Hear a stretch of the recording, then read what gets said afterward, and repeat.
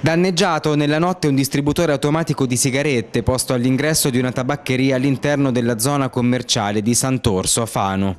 Il fatto, sul quale sono in corso le indagini, almeno secondo le prime dichiarazioni rilasciate dal titolare della tabaccheria, è avvenuto intorno alle 3.30 della scorsa notte, ma saranno le immagini delle telecamere di sorveglianza, sempre che l'impianto sia funzionante, a chiarire maggiormente le dinamiche.